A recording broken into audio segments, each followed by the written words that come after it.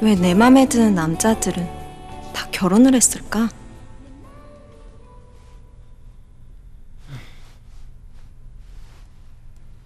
다 주무셨어요? 네. 아니, 자는 척 하다가 진짜로 잠들어 버렸네요. 좋은 현상이에요. 암튼 많이 주무시는 게 좋아요. 어, 와이프하고 장인어른께서는 그때 바로 가신 거죠? 네. 그분이 실수하신 거예요? 네. 근데 미인이시네요. 와이프를 보니까 난 명함도 못 내밀겠던데요? 자신이 미인이라는 건 안다는 뜻?